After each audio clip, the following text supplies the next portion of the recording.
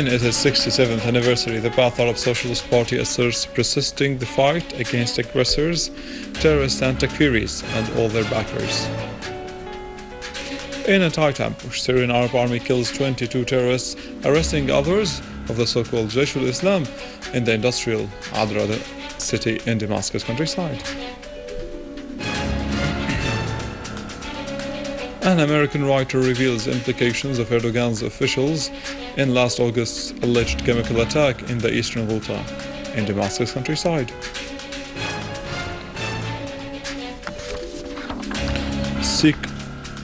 secret documents from the Western intelligence services reveal tightening control on terrorists returning from Syria.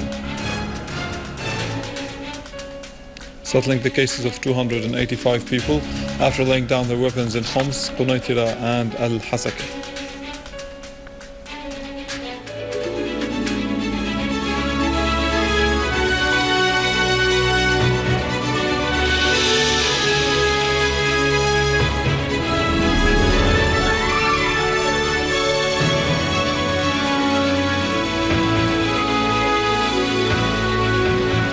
Good afternoon. This is news in English from the Syrian Arab television in Damascus. President Bashar al-Assad, the Secretary General of the Ba'ath Arab Socialist Party, received today the Ba'ath Arab Socialist Party leaders from Dar'a, Al-Qunaitra and Suwaida governorates. The President stressed during the meeting that our main concern, according to the President, is to stop the bloodshed and the destruction of infrastructure. President al-Assad asserted that we have to think about the sides that affected the party as he pointed out that the Islamic project failed.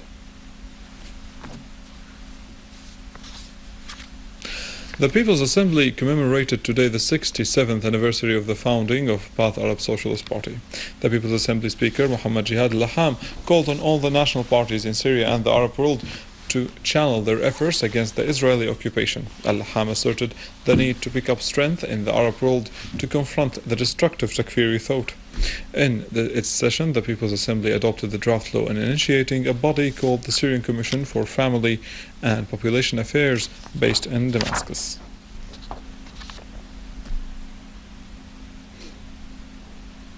Marking the 67th anniversary for the Ba'ath Arab Socialist Party, the Syrians took to the streets in different towns and villages in mass rallies supporting the Syrian Arab Army and the armed forces in the war against terrorism. Citizens in Sahnaya, Harjalli, Jdelet Artuz and Masakin Dimas in Damascus countryside took to the streets in rallies to show support to the Syrian army in counter-terrorism. The participants held the Syrian flags and the Ba'ath flags in assertion to the support to the Syrian Army in facing and the finance and support of terrorism against Syria. Citizens of Masjid and the adjacent villages took to the streets in a mass rally on the same occasion.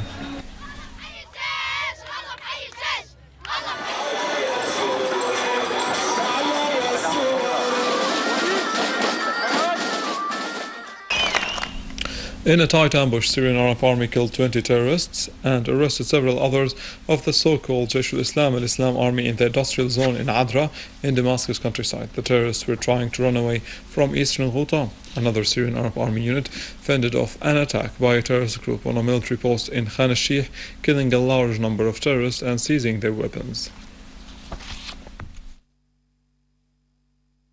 In cooperation with the residents of Al Ghouta neighborhood in Homs, special units found a secret cache for hiding weapons and communication devices inside a terrorist hideout and arrested a terrorist there. In Daraa and Idlib countrysides, Syrian Arab Army units targeted the terrorist hideouts, killing many terrorists and injuring several others. In Daraa countryside, a unit of the Syrian Arab Army pounded terrorist gatherings, killing many terrorists, injuring others, and destroying their weapons in the periphery of Al Suraya compound, north of Ataman village, in Al Wardad village, north of Khabab, and in El Jize and at Taibi.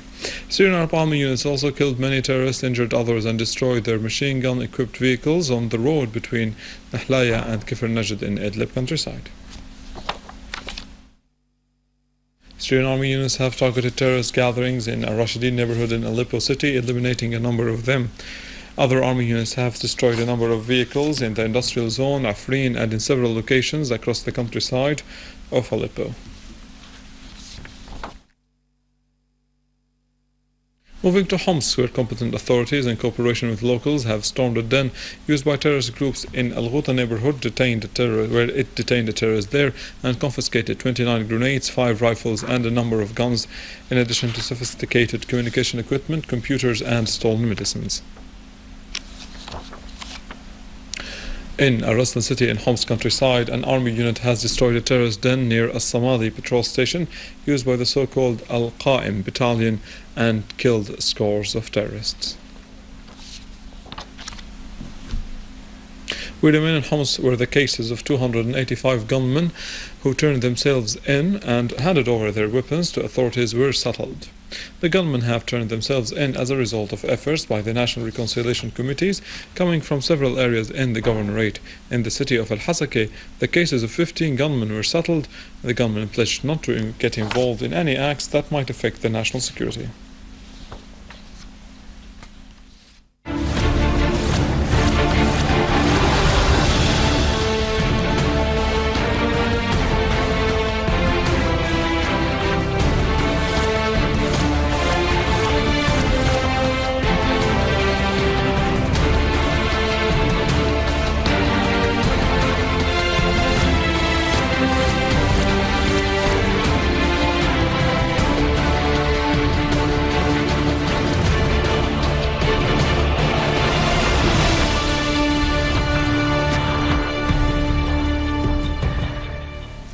Renowned American journalist Seymour Hersh has disclosed in a recent article uh, the Turkish involvement in alleged chemical attacks on Eastern Ghouta in Damascus countryside on the 21st of August last year. Hersh quoted an American intelligence former advisor as saying that weeks before the 21st of August he read a summary presented to the American Secretary of Defense that talked about Erdogan's deep concern over possible failure of the armed groups in Syria and that the Turkish Prime Minister stated that something had to be done in order to push the United States towards a military intervention to halt further progress by the Syrian army.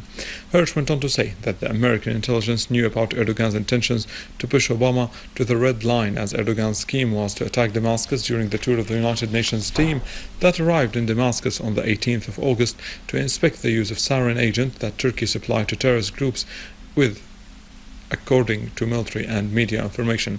Hersh concluded his article by saying that according to the American intelligence advisor and other sources, there was a coordination between Ankara and Washington to accuse the Syrian government of Al Ghouta's chemical attack and to distract attention from the real perpetrator. Hundreds of Syrians and Armenians demonstrated in the Argentinian capital Buenos Aires to in protest against the aggression backed by Erdogan's government on Kasab city, northern Latakia. Participants in the demonstration, which was organized under the title Save Kasab, headed to the Turkish embassy in Buenos Aires, denounced support provided by Erdogan to armed terrorist groups in Syria. Speeches were delivered, highlighting the steadfastness of the Syrian people in face of the fierce aggression on their country.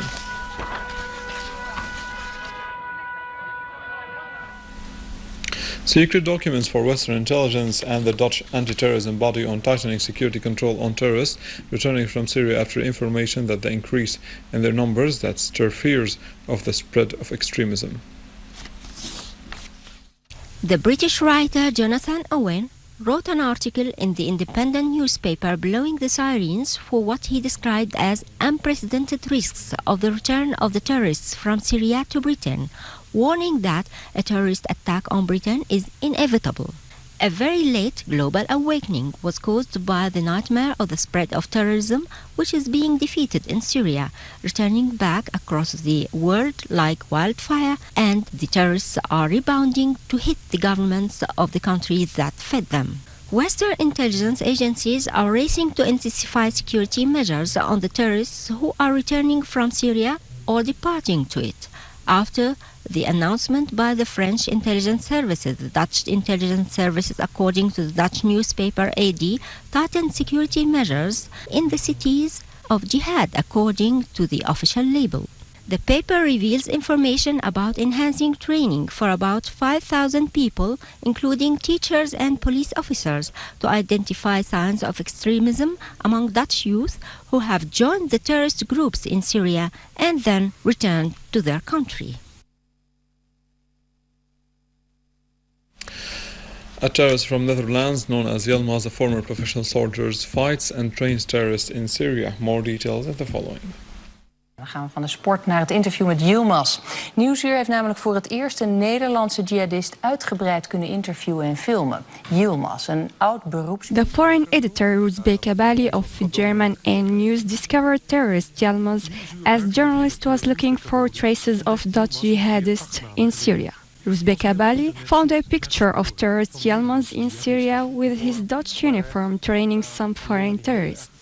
What we're doing right now, with, and, and the purpose of all this is, uh, I was approached by a brother that, that I love and that I respect, and because he knows my background, he asked me, could you give some of my fighters some, some, some extra uh, tips and tools?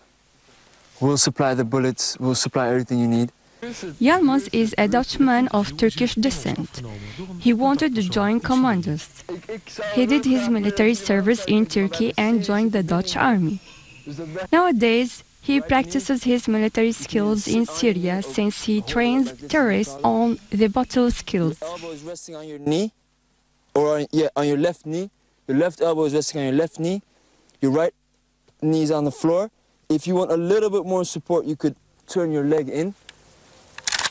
When you looked at him, you can recognize his Dutch army uniform, including the bird, but the badges have been changed to Al Qaeda. From his point of view, he's fighting and training the terrorists in Syria to have an Islamic state with Islamic principles. Allahu Akbar. Allahu Akbar. I think the main goal of,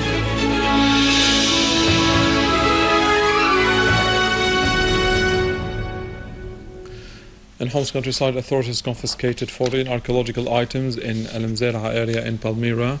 The armed terrorist groups had illicitly excavated them to be smuggled outside the country. All items date back to 2000 years ago and contain funeral busts and some stone heads engraved for Palmyrian persons with inscriptions that refer to the names of the people engraved. Earlier on the 1st of April, 15 ancient artifacts were confiscated that armed terrorist groups excavated illegally with the intent to have them smuggled outside Syria were seized in the farms area near Palmyra. With this, we end our news for today. Thank you for watching. For more details about Syria and the region and to view this bulletin again, you can always visit our website in English www.syriaonline.sy. Now to the latest business and market news with Vani.